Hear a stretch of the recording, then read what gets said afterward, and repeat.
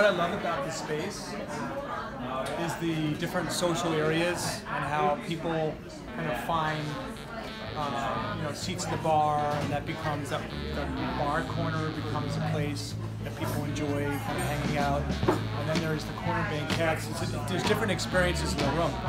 Trying to have an appealing space for older members and younger members in and have younger members, uh, parts of the family, want to join the older members for events. I think people are comfortable with it, and we're getting that kind of feedback that both the young members and older members are really pleased with how that, that fusion came together. That's something that we always aim for is how to create different seating clusters, how to create more interaction between guests so that people feel at ease in the space. Um, I really feel like, you know, in the Taft Room Lounge, we've really been able to